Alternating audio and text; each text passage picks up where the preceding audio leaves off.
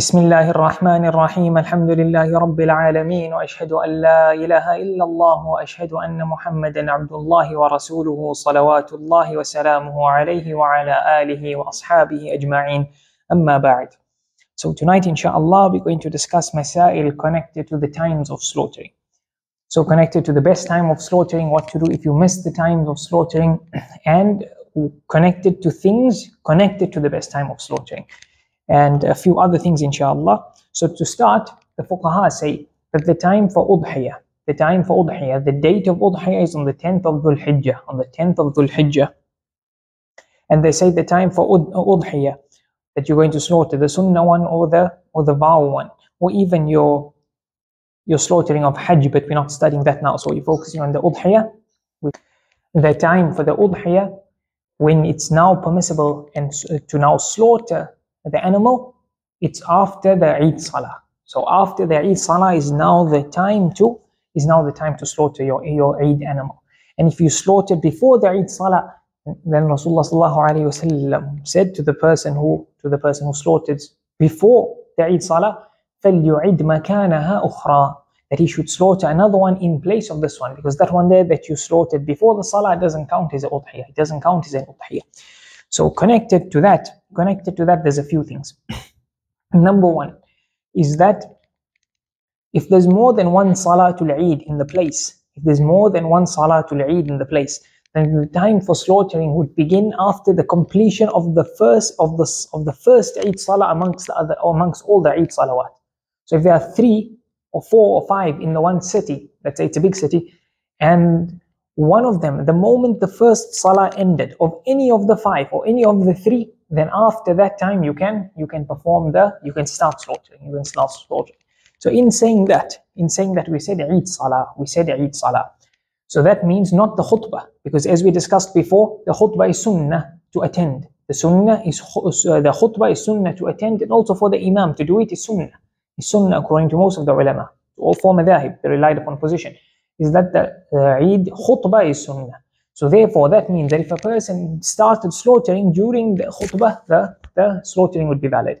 If he began after the Eid khutbah, then of course the slaughtering would be valid. But the ulama say, the ulama say that it's better. It's better to perform the slaughtering after the Eid khutbah as well. After the Eid khutbah as well. So, therefore, a person should try and slaughter after the Eid Salah and the Eid Khutbah. So we spoke about if there's more than one Eid Salah in the town, in the town or city. Now what if there's no Eid Salah in that town or city? Either the people are not performing Eid Salah at all. The people are not performing Eid Salah at all for no reason. They just do not want to perform Eid Salah. Or, or they're going to, or they cannot perform Eid Salah because one of the stipulations of Eid Salah are not found. For example, being 40 people. You have to be 40 people according to the Han, Hanbali and Shafi'i madhab. Or, well, specifically the Hanbali, this, according to the Hanbali madhab for Eid Salah. According to the Hanbali madhab for Eid Salah, you have to be 40 people. And they have other stipulations as well, similar, similar to Jumu'ah. So let's say any of these stipulations are not fulfilled. Any of the stipulations are not fulfilled for Eid Salah, then Eid Salah will not take place in that town or city. So in that case, what to do? In that case, they say they say that you then estimate the time it would take for the Eid Salah to be performed. You estimate the time it would take for Eid Salah to be performed. After that time, you can then slaughter. After that time, you can then slaughter. And some of the fuqaha, like Ibn Qudama, says you estimate the time of the Eid Salah plus the khutbah, plus the khutbah. But the madhab only counts the salah. The madhab only counts the salah. So you estimate. So therefore, Uh, the fuqaha speak on how long would you assume, how long would you assume the salah to be or the salah and the khutbah to be. So many of them say, many of them, they don't mention it. And others like Az-Zarkashi, he says that it would be the length of, a, of an Eid salah and Eid khutbah performed at average speed, at average speed. And others like Ibn Qudama says that a khutbah, so uh, Zarkashi mentions, yeah, khutbah and salah. Ibn Qudama mentions, because his opinion is khutbah and salah, he says a complete khutbah and complete salah. So that would mainly refer to the uh, wajib and the fard, or the um, arkan, the pillar aspects of the salah. Even though the sunan aspects, they will add a two or three minute thing. It's not a big deal uh, to if we were to estimate a complete sunnah salah with all the sunnah and all the wajibat and mustahabbat, etc. So therefore, and for the khutbah, also the obligatory parts of the khutbah. The obligatory parts of the khutbah, according to the Hanbali madhab, there's mainly four things. Four things that are obligatory of the khutbah, of, of a khutbah of uh, Jumu'ah or a khutbah of Eid Salah. So in saying that, in saying that, we'd say after the after Salatul Fajr or after the time of Fajr comes in, or when we say at sunrise, at sunrise. From so now from sunrise until the sun rises a bit higher, until the sun rises a bit higher, then you cannot perform salah. So usually from sunrise, 10 to 12 to 15 minutes after the sunrise, you do not, you cannot perform any salah. It's the time of prohibited makruha. It's a prohibited time of salah. It's a prohibited time of salah. Thereafter, so let's call it 12, let's say 15 minutes even. Thereafter, you assume an average amount of salah, an average amount of salah, let's say it would take five to seven minutes for the salah, and the khutbah another four minutes, let's say, for example. So let's call it seven, eight minutes. So then 14, 15 minutes after that 15 minutes you counted after sunrise. So 15 minutes from sunrise for the prohibited time and 15 minutes of the assumption, the estimated amount of time the salah and the khutbah would take place had they been performed in this town, had they been performed in this town or in this area, thereafter a person can slaughter. So basically plus minus 25 to 30 minutes after the after the after sunrise, after sunrise, 30, 25 to 30 minutes after sunrise, a person can then slaughter. A person can then begin slaughtering. And if Eid Salah is being performed in the town, but the person could not make it for the Eid Salah, the person could not make it for Eid Salah, or he missed the Eid Salah, or he just didn't perform the Eid Salah, then this person would be the same as the rest that are performing the Eid Salah in the sense that he, do, he has to wait until he has to wait until the first salah is completed in the town. Until the first salah is completed in the town, thereafter he can slaughter. If there was no salah performed until zawal, if there was no salah performed until zawal, thereafter people can slaughter immediately. Once zawal strikes and no Eid salah was performed on the day of Eid, then people can go out and slaughter immediately. But before zawal, before zawal, you're not allowed to slaughter before the salah. But Al-Khiraqi, from the Hanabila, he says you do not wait for the first salah to finish. He says you just give an estimation of the salah and khutbah. That's what he says. That's what he says. He says because the salah can be formed at an early time or at a later time. So then it could, you know, if they're performing it mid-morning, which is valid, then you're going to wait a long time before your slaughtering starts. Even though, as you mentioned, that the sunnah is, the sunnah for Eid al-Adha is to perform immediately after, immediately once the time of Eid Salah comes in, as we mentioned in the Eid lecture. And th that gives people ample time to begin the slaughtering compared to Eid al-Fitr. Compared to Eid al-Fitr when you delay a bit, especially when there's other sunnah to perform on Eid al-Fitr. So those are the rules for a person who will not be performing Eid Salah or will be performing Eid Salah, then when, when does he slaughter? And when does he slaughter? The last thing connected to this is that in the Hanbali Madhab, you can perform Salatul Jumu'ah before Zawal. You can perform Salatul Jumu'ah before Zawal. That's one point. But the other point is that if Jumu'ah and Eid fall on the same day, then according to the Hanbali madhab only, you can perform either of them. You can perform either of them. You don't need to perform both. Um, you can perform either of them. And therefore, if they decide, if the people decide we're not going to perform Eid Salah, we're just going to perform Salatul Jumu'ah, we're just going to perform Salatul Jumu'ah, then what's to be done there? They say that if the Salah, Salatul Jumu'ah is performed before Zawal, if Salatul Jumu'ah is going to be performed before Zawal, then you have to wait until the Salatul Jumu'ah is over. And thereafter you can slaughter. If it's going to be performed after Zawal, after Zawal, which is the best time, the better time for Salatul Jumu'ah, then in this case, as we said, once Zawal strikes, then you can slaughter. Then you can slaughter immediately. So those are the rules connected to. As a starting point, there's more to mention. That is a starting point connected to the time of slaughtering and and uh, for a person who's performing the Salah and a person who's not performing the Eid Salah. So now we said the estimation of the time of Eid Salah. We said the estimation of the time of Eid Salah for those people who are not performing Eid Salah. So if a person is in a village or suburb outside a city, outside the city, and they are not performing Eid Salah, then they, as long as their area, their locality is not connected to the town where Eid Salah is being performed, these people can estimate. So they do not wait they do not wait for the Eid Salah, for the closest Eid Salah to them. If they are deemed outside, outside of the town, outside of the boundaries of the town, not connected to the town, then they use the estimation that we said. They use the estimation that we said. And if they are deemed connected to the town, then essentially they have to perform Eid Salah, or they should. They should perform Eid Salah. They should perform Eid Salah, uh, and then uh, slaughtering can only be valid after the Eid Salah, after the Eid Salah. Now the Maliki madhab differ in this. We're going to touch on it just now when we mention the mas'ala of the best time of slaughtering, of the best time of slaughtering. So the Maliki madhab have a few specific details connected to connected to the time of the Eid Salah because of the slaughtering of the Imam that they mentioned. But we'll touch on it just now. So then the Fuqaha mentioned that the time for slaughtering, the time for slaughtering continues for how long? They say the day of Eid, so 10th of Dhul Hijjah and two days after, two days after, so for three days. So 11th Dhul Hijjah and 12th Dhul Hijjah, these two days. That's the opinion of the Hanafi madhab as well and the Maliki madhab. The Shafi'i madhab says it's on the day of Eid and three days after, three days after the day of Eid. So basically the Ayyam Tashriq, those days, the days of Hajj, Ayyam Tashriq, usually they are, they are the 10th of Dhul Hijjah and then three days after. That's why the takbirat continue, three days after. But for slaughtering, two days according to most of the ulama. Two days according to most of the ulama. And they say that that's because it's been narrated from a number of the Sahaba of Rasulullah sallallahu alayhi wasallam that they said the slaughtering, the time for slaughtering is two days after the day of Eid. Two days after the day of Eid. And they also mentioned Rasulullah sallallahu alayhi wasallam told the Sahaba in the early times of when they were performing uh, uh, udhiyah that he said do not keep and store the meat for more than two days after Eid. So three days, for more than three days, the day of Eid and two days after. So the people at that time were in extreme poverty. They were in extreme poverty and hunger. They were in extreme poverty and hunger. So Rasulullah sallallahu put this in place so that the people can, those who can afford to slaughter and those who will slaughter, they can rush out to fulfill the aspect of feeding. They can rush out to give out the meat to fulfill the aspect of feeding. You're going to mention the virtue of of the feeding from your udhiyah, a portion of the udhiyah. In fact, that it's wajib to give a portion of your udhiyah in charity. It's, a, it's wajib to give a portion of your udhiyah in charity.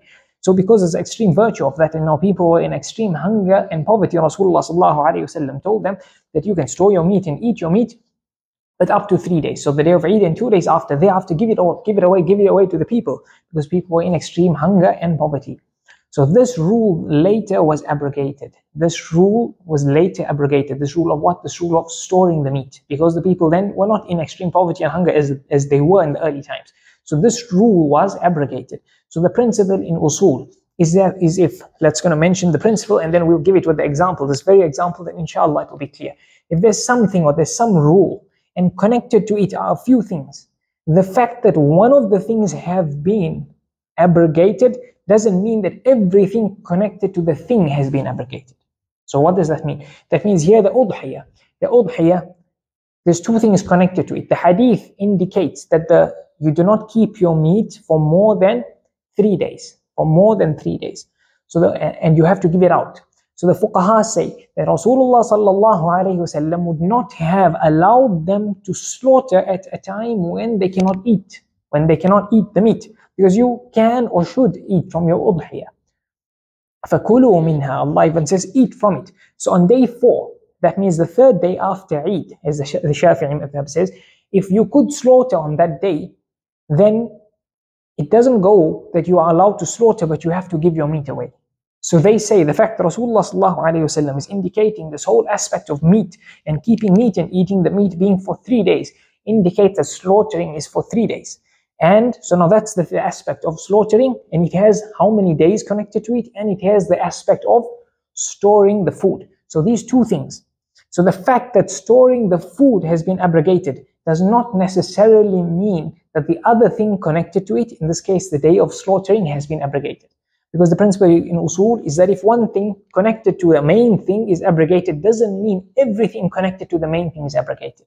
I hope the principle is clear. clear. So therefore, the fuqaha say that yes, that the storing of the meat, that has been abrogated. But the days of slaughtering, that has not yet, that has not been abrogated.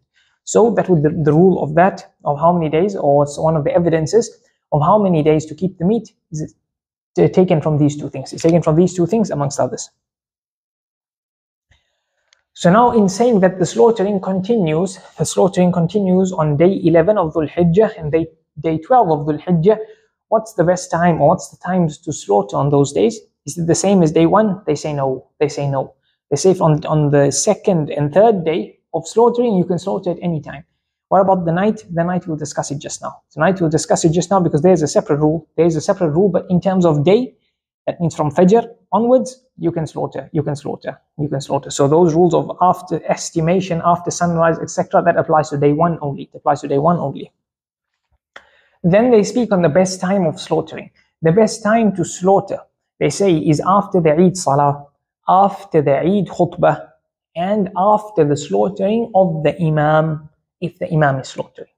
So which Imam? Allahu Alam, this is going to be the Imam of the Salah, the Imam of the Salah. But now, the madhab that touches on these details the best or the most is the Maliki madhab because of the stipulation that the slaughtering be after the slaughtering of the Imam. Now, many of the fuqaha say that a person can get clarity on his madhab or on the rules of one madhab that he's reading based on how other fuqaha explain that same mas'ala in their books. So like Ibn Qudama, a lot of his taqreer or a lot of his conclusions of the Hanbali madhab and his details of the Hanbali madhab, he's used some explanations from some of the Shafi'i scholars, from some of the Shafi'i scholars. So, because that is all the ulama agree on, because many times you read a mas'ala in one madhab, and the mas'ala may not be clear. The mas'ala may not be clear, but you go to another madhab, and they unpack this mas'ala in so many details, your madhab then becomes clear. So that's something very important to benefit from all the other schools. Because sometimes one madhab will touch on a mas'ala, but very few details. And another madhab goes in so many details and so many, they unpack smaller masail connected to it, and you basically cover, you basically cover the loose the loose uh, holes of your madhab or the madhab you are reading. So the same thing here with the Maliki madhab, how they discuss this aspect of the imam of the salah. So here we said that the best time is after the salah and after the Eid khutbah and the slaughtering of the imam if the imam is slaughtering and the imam of salah. And the, the imam is the imam of salah. So now before we go to the Maliki madhab, Obviously, we spoke on the permissible times earlier. When does the slaughtering start? This now is the times when it's the best time to slaughter. So therefore, for the best time, you wait for your khutbah. You wait for your khutbah. And then for the slaughtering of your imam of the salah, of your imam of the salah. So the Maliki madhab, they say the imam can be one of two people. One of two people. Either, either the imam of the Muslims, either the wali al-amr, the leader of the Muslims, or his representative, or his representative, right? So they go as one category the Imam or his representative in that town. Or number two, the Imam of Salah. Or number two, the Imam of Salah. So now they speak about a place, a place where both Imams are present, the Imam of the Muslims and the Imam of Salah. Then this difference of opinion will come in. The difference of opinion will come in. But the difference of opinion will come in they, when they say if at the at the Salah the Imam of the Muslims is the Imam of the Salah then there's no difference of opinion that who's slaughtering you wait for. For them, it's a stipulation. For them, it's a stipulation. Your udhiyah will not be valid if you slaughtered before the imam. If you slaughtered before the imam, your udhiyah will not be valid. The others say it's recommended, or it, it, this would be the best time if you waited for the imam to slaughter. For them, it would not be valid. They say, if, if you began your slaughtering before the imam, but he finished before you finished, it won't be valid. It won't be valid to that extent. They say if you started at the same time of the Imam, it won't be valid. They say if you started after the Imam, but finished before the Imam, they say it won't be valid. They, they make an analogy to it's as if you perform Salah and then you made Salam before your Imam in Salah. Your Salah will not be valid. Salah will not be valid. There's details of that in fiqh, but as in summary, yes, it won't be valid. So they say the same thing here. So you have to start after the Imam and then end after the Imam or with the Imam, not before the Imam, not before the Imam. So that's why it's a very important mas'ala for Maliki followers of the Maliki madhab and an intricate mas'ala for them is they wait for the Imam to finish the salah to basically start their slaughtering. So we said if the Imam of the Muslims is going to lead the salah, if he's going to lead the salah, then no doubt in the madhab, there's no difference of opinion that you wait for this, for the Imam of the Muslimin to wait for, to, for him to slaughter his animal. Or if he is not the Imam of the salah, him or his representative, right? Because we're speaking of when both of them are in a, in a town, both of them are in the town. Then, if the Imam has brought out his animal with him when he comes to the Eid Salah, why? Because in the past, what they used to do, and Rasulullah himself, when they used to come for the Eid al-Adha, when they used to come for the Eid al-Adha, they used to bring the animals with them to the musalla. And then out a bit away from the musalla, the animals would be there and they'd perform the salah, then they'd go and slaughter the animals. And they'd go and slaughter the animals. So if the Imam did that, if the Imam did that, the Imam of the Muslims, then you wait for his slaughtering. If neither of the two happened, the Imam is not the Imam of the Muslims is not the Imam of the Salah, and neither did he bring out his animal with him to the Musalla. Then here there's a difference of opinion in the Maliki madhab. Do you now wait for the slaughtering of the Imam of Salah or the Imam of the Muslims? With a number of the Maliki scholars saying that the stronger opinion in the madhab is the Imam of Salah, is the Imam of Salah in this case. A number of them point this out. Asawi, Ibn Rushd, etc. Many of them point out that the strong opinion is that you wait for the Imam of the Salah his slaughtering. And they say if there's if you the imam you are praying with, and if you're outside of the city, if you're outside of the city, you wait for the slaughtering of the closest imam to you. You wait for the slaughtering of the closest imam who performs salah closest to you. You wait for his slaughtering. So like that, they have the details in, in the Maliki madhab. When it would be the imam of the Muslims and when it would be the imam of the salah. Then they, you wait for his slaughtering. You wait for his slaughtering to be done. And then, and then you can you can slaughter your animal. On the other madhahib, they say that yes, it's better to wait for the imam slaughtering, the imam of salah, or as we said, the way the Maliki madhab, they unpacked it in so much details that the other schools do not when specifying which is the imam. So then the ulama mention who touch on this mas'ala, they say if the imam of the Muslims or the imam of salah brought his animal out like how they used to do in the past in the time of Rasulullah sallallahu wasallam. They used to bring it out so then you can slaughter immediately and then everyone is present from the salah. Then you can distribute your meat and people can get a portion of the meat and everyone can share in the joy of Eid and in slaughtering. So if that happened, then they say it's recommended now. It's more recommended that you wait for the imam to slaughter first. He's your imam in salah, so he should be your imam in slaughtering. And if he did not, like in most cases today, in most of the world, the imam does not. The imam does not bring his animal out. People do not slaughter near the musalla as they used to in the past. In that case, they say that in this case, to wait for the istihbab of the imam slaughtering, to fulfill this istihbab and waiting for the imam, to get this mustahab act of waiting for the imam, it would be difficult. And therefore, a person should wait for the salah to be done and the khutbah to be done. The salah to be done and the khutbah to be done. Okay, the last few masail.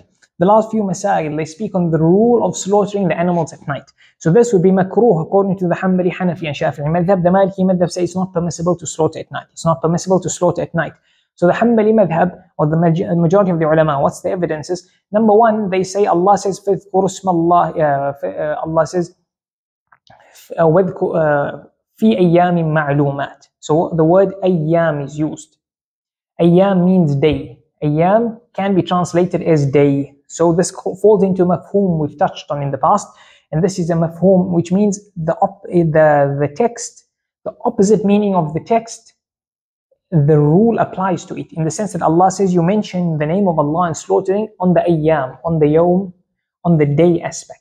So that means the opposite of day is night. So if you're going to mention the name of Allah and slaughter in the day, the opposite of that means that should this not happen in the day, it would not count. It would not count. So they mention that this is the one evidence. But other ulama say that ayyam in Arabic can be used for day and night. And in fact, it is used for day and night.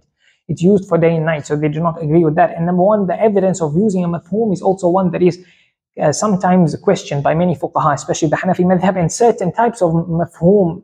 There's maybe 11, 12 types, maybe even more. Certain of them are quite weak. So this is one of the weaker ones. This is one of the weaker ones. So that's number one. Number two, there's a hadith. Rasulullah prohibited slaughtering at night. But this hadith is a mursal hadith from the tabi'i Ata. So that's number two. And number three, they say because of the strong difference of opinion. The Hanbali madhab says in the madhab from Khiraqi, Abu al-Qasim al-Khiraqi, and outside the madhab, so the Maliki madhab. So they say, based on that, they say it's better not to slaughter at night. And as we said, when there's a difference of opinion, if a person can do something to get out of it, he should. And this is from the principles of the fuqaha. When there's a strong difference of opinion, when there's a strong difference of opinion, then you take that into consideration. And if it's if the faqih deem, deem something permissible as in mubah, but other fuqaha based on strong evidences deem it wajib or fard, then those fuqaha who deem it mubah would say it's mustahab to get out of the difference of opinion. They don't believe it is full on wajib, but they also say that since these other ulama have strong, uh, strong evidences and they themselves deem it wajib, we're not going to leave it solely at mubah. We're going to say it's recommended to try and encourage people to do it so they don't leave it off. In the same way, if something is haram but they deem it mubah, not haram, then they might say makruh out of the difference of opinion. But it must be a strong difference of opinion. It must be a strong difference of opinion. In fact, some of the Ham, Hanbali fuqaha, I think in Al-Muntaha, it doesn't even say it's makruh to slaughter at night. So basically, it will be permissible to slaughter at night. Other fuqaha, like the Shafi'i scholars mentioned that um, if you're slaughtering at night, it might be dark. So therefore, you might not slaughter the correct, you might not slaughter the animal as best as you might do so if there was, if there were, it was bright in the day. Slaughtering the correct parts and fulfilling the sunnah of slaughtering and not doing the other, not uh, causing harm to the uh, pain to the animal, etc. But then that you could argue if there was light or lights like in today, there's not darkness. And others say that at night people usually don't come out, the poor don't come out to so to collect the meat. So you won't be able to distribute it as soon as possible as you would in the day. So that's some of the reasons um, so if a person can manage not to slaughter at night, then he should do so. Then he should do so. So the Maliki madhab say that you can slaughter from sunrise, from sunrise. But they say it's better to wait from until the time when salah becomes permissible again. So those 10, 12, 15 minutes after sunrise, if you wait for, uh, until then, then you start slaughtering on your remaining two days of Eid, then they say that would be better. That would be better. The other schools say permissible at all times, night and day, but preferably not the night. Preferably not the night. And if done so at night, it will be valid. Then if you missed the days of Udhiyah, if you've missed the days of Udhiyah, the time has passed, now what do you do here? They say that the Udhiyah that is wajibah, you do qadha of that. And the Udhiyah that is not wajibah, you don't do qadha of that. So the Udhiyah that is wajibah is the Udhiyah that you've taken a vow. That's the only way, according to the majority of the ulama, that Udhiyah can become wajibah. In the Hanafi madhab, the moment you bought the animal, it, uh, with the intention of Udhiyah, the moment you bought it with the intention of udhiyah and you own the nisab, and you own the nisab on those days of Eid, any day of the day of Eid, and you bought the animal with the intention of udhiyah, then it becomes wajibah. So the Hanafi madhab will have different rules. I'll explain them now. So for the rest of the ulama, if you have a, if you have a vow, if you have a vow, and the time of Eid, Eid al-Adha is gone, then you still slaughter the animal. And that animal would count as the vow. And then you distribute the meat, or it would be recommended to distribute even that meat the way we're going to mention as the sunnah to distribute normal udhiyah meat slaughtered at the correct time. Okay? And for a, sun, a sunnah udhiyah, then once the time is gone, your chance to perform the sunnah is gone. As we usually, as we've said before, sunnah fata mahalluha. The sunnah, the chance for doing it is gone, so there's now no qadha for it. If you were to slaughter it, then it's normal meat that you slaughter. So you can eat the entire uh, portion, of the entire animal. You don't have to give charity with a portion of it, as in wajib to do so. And the other rules don't apply, the other sunnah do not apply to it. And in the Hanafi madhab, in the Hanafi madhab, you bought an animal with the intention of udhiyah and you own the nisab, then in that case you have to slaughter this animal.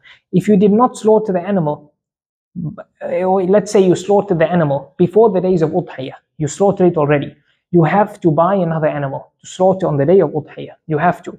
If you did not, then you have to give the worth of an Udhiyah animal, the market value, from the time you own the nisab, you have to give it, or if already own the nisab, the times it becomes wajib, that means on the 10th of Dhul Hijjah, you have to give that in charity. You have to give that in charity.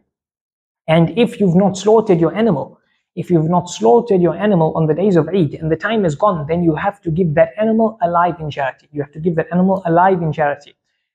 And uh, so therefore, you give you didn't slaughter the animal goes. If if you didn't have an animal, you didn't have an animal in the first place, and it was wajib on you to slaughter, then you have to give the market value of an animal of Eid out in charity. The market value out, you have to give it in charity. And that's what you do when, if you did not slaughter your animal of Eid and it was wajib on you in the Hanafi madhab, in the Hanafi madhab. The first situation when you slaughtered the animal, if you, you had to buy another one. If you bought another one, did not slaughter it, it has to go alive in charity. If you did not buy another one, you have to give the worth of an animal in charity uh, on after the day of Eid because you did not slaughter on the day of Eid. And you did not buy it on the day of Eid. But it then has to be slaughtered. So that's what you do with regards to uh, if the time of if the time of the days of slaughtering has passed. So the next mas'ala the fuqaha speak about, they say what happens if people stood on Arafah on day 8 by mistake. Arafah is on day 9 of Dhul Hijjah, but these people stood on day 8 by mistake and therefore they slaughtered on day 9 thinking it is day 10. They slaughtered on what was actually day of Arafah thinking it was the day of Eid. What would the rule be there? The rule of this mas'ala breaks up from the other mas'ala and that is if people if people stood on Eid on, uh, if people stood on Arafah on the wrong day, would the Arafah count? So the fuqaha say if the entire hujjaj stood on Arafah on the wrong day, then the Arafah would count. The Arafah would count as long as it's everyone. As long as it's everyone, they stood the day before, this day after by mistake with the days counting the calendar, whatever it may be. Whatever occurred, all of them made a mistake. They stood on the wrong the wrong day. So now what happened in the first situation? They stood on day eight. They slaughtered before the days of of Udhiyah. The fuqaha say the Hanbali fuqaha uh, based on the mas'ala of Hajj, but the Hanafi fuqaha specifically here, they say they say it, the slaughtering will be valid. And the Shafi'i fuqaha say there's two opinions in the madhab. The weaker one saying that this slaughtering would be valid. They say based on the fact that Arafah would be valid. But the strong opinion in the madhab, the, some of the fuqaha point out, is that that Arafah would not count and therefore the Udhiyah would not count. But the majority of the ulama say that the Udhiyah would count in this situation. Another situation, they stood on Arafah on the 10th. They stood on Arafah by mistake on the 10th. So now what happens here? What happens here is that day 11, day 11 is still the day of slaughtering. So your udhiyah, you slaughtered on the day after the 10th, so it would still count for sure. It would count for sure. But then do you count day 11 as being day 1 of slaughtering? Because Arafah was the day before, which was actually the day of Eid. So do you count day of Arafah, which is they thought was Arafah, which is actually the day of Eid? Do you count two days after that? or do you count two days after what they thought was the day of Eid? So here the fuqaha touch on this mas'ala. Uh, I think the, the, the Shafi'i fuqaha touch on this mas'ala. They say that you count the days of tashriq, the days of slaughtering, as they are. As they are. So you found out that it's day 11. So that is your second day of slaughtering, so there's one more day. You don't say, okay, yesterday we thought it was Arafah, so therefore today we thought it's Eid, so therefore there's two days after, you don't do that. You don't do that. The third situation as we said in the Hanafi madhab, if they prayed and slaughtered and then it turned out to be Arafah, they say it, would count. They say the slaughtering would count. They say the slaughtering would count. One of the last few masail, if they realized after Zawal that it's Eid, if they realized after Zawal that it's Eid, then what would they do here? Because the time for the Eid Salah we mentioned, other than Sheikh Muhammad al-Khalwati from the Hanabila, who says you can pray Eid Salah on the whole day, in Jama'ah, this the entire people missed the Eid Salah. They thought it was the day of Arafah, and then they realized after Zawal that it's the day of Eid. Now you can slaughter immediately. Zawal has come, you can slaughter immediately, and the Eid Salah gets performed tomorrow. The Eid Salah gets performed tomorrow. And if they realized, if they realized that it's Eid during the morning of the day of Eid, so they didn't know beforehand, they didn't know beforehand, they realized during the morning it's Eid, then here in this case the Imam the people should go out and perform Salatul Eid first. It would be the normal rules. Therefore, you cannot slaughter until Zawal. You cannot slaughter until Zawal. Meaning, not that you can't slaughter until Zawal, meaning that if the Imam did not come out and perform Salah until Zawal, now you can slaughter. Now you can slaughter. If the Imam came out and performed the Salah, then you can slaughter after that. If the Imam, you cannot slaughter before the Salah or before Zawal if there was no Salah. You cannot slaughter before the Salah if there's going to be Salah, and if there's no Salah, you cannot slaughter before Zawal. Okay, that's how it would be. The last mas'ala, or the second last mas'ala. Very interesting one. The Hanafi fuqaha say, the Hanafi fuqaha touch on this mas'ala. They say if the Eid Salah was performed, and then we said the Eid slaughtering counts after the Eid Salah. So what happens if people perform the Eid Salah and then they slaughtered the animals, or most of them, most of the animals, then the person, the Imam came out after saying that I performed the Eid Salah without wudu which means the Eid Salah is invalid. So now what would happen to the slaughtering here? What would happen to the slaughtering here? Interestingly, the Hanafi fuqaha say that the slaughtering will be valid. The slaughtering will be valid. And what's the reason? This you already mentioned last time, that we spoke about a mufti. What does he do before an action and how he looks at the situation after an action.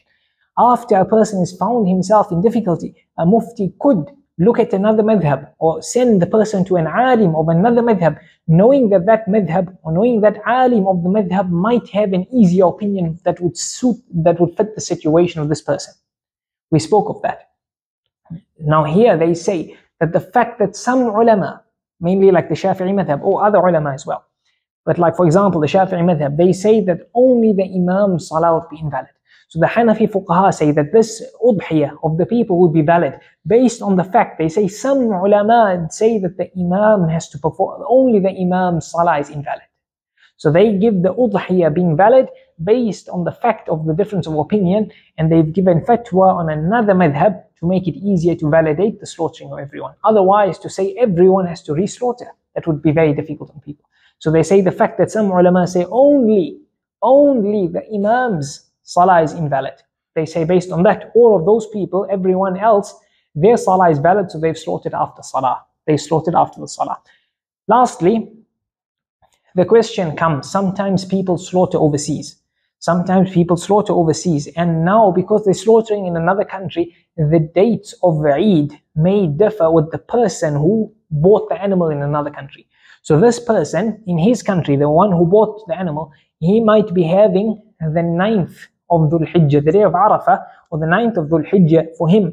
But in the country where he's slaughtering, it's the 10th of Dhul Hijjah. It's the 10th of Dhul Hijjah. So those people can slaughter, but for him it's not Eid yet. And this animal that's going to be slaughtered is on behalf of him. And for him it's not Eid yet.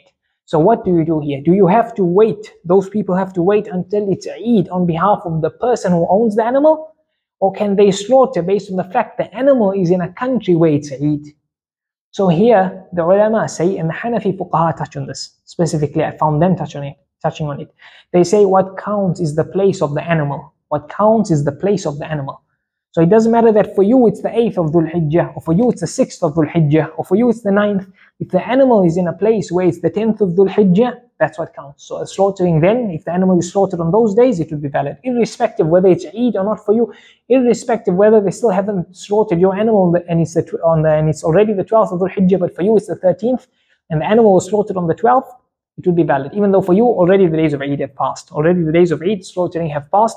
Though some of the senior Hanafi ulama, especially the Indian ulama, they say out of precaution, try and get the slaughtering of the animal and the person to be on the same day. So if it's possible to tell the people overseas, wait one more day to slaughter, so it can be Eid for me as well, they say this would be better out of precaution, out of precaution. And as we said always, if there's a possibility to get out of the difference of opinion, you do so.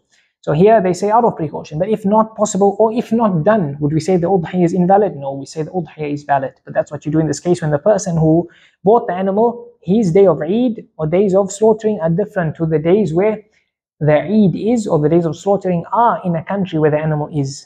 And with that we've covered the masail, most of them connected to this chapter. We ask Allah Azza wa Jal to grant us sincerity in our sayings and our actions and we ask Allah Azza wa Jal to bless us with a good death when it's the time for our death. وصلى الله وسلم وبارك على نبينا محمد وعلى آله وأصحابه أجمعين والحمد لله رب العالمين